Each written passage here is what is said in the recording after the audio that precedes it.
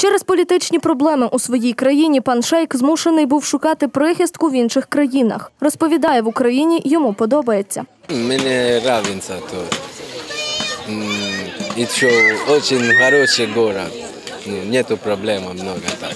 Хорошо. И тут и еще погода хорошо тоже.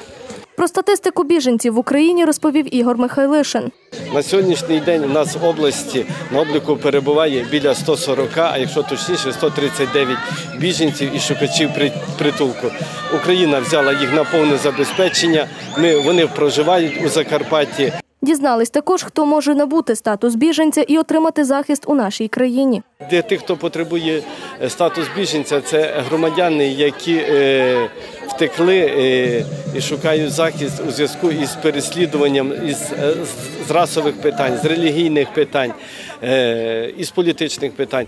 У Мукачеві ж сьогодні офіційно 59 шукачів притулку з 14 країн світу, серед яких 17 дітей. Проживають вони у Мукачевському центрі біженців. Тут їм створюють належні умови. До всесвітнього дня біженця для них підготували розваги і приємні сюрпризи.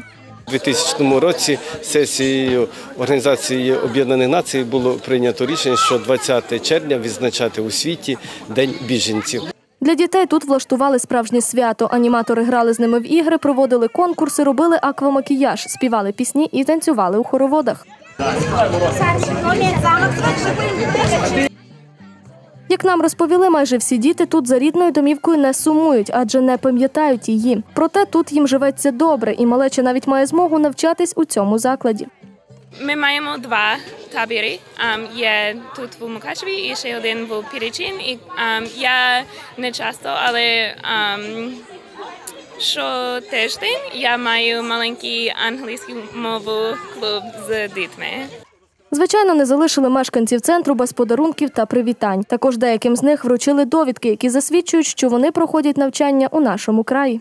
Радий вітати вас усіх, які проживають в нашому пункті Мукачеві, також Перечині із цим святом, що ви в Україні знайшли своє місце, знайшли свою домівку, що ви були завжди радісні, усміхнені, здорові, щасливі, що ваші діти підростали, навчалися в наших школах, вивчали українську рідну мову.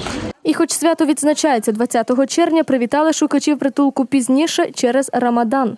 Як ми знаємо, в більшості це е, мешканці е, із країн, де сповідується іслам, проходило свято Рамадан, і ми все-таки по- після закінчення прийшли їх при- привітати. Варто сподіватись, що у всьому світі держави дбатимуть про своїх громадян, і людям не доведеться покидати рідні домівки.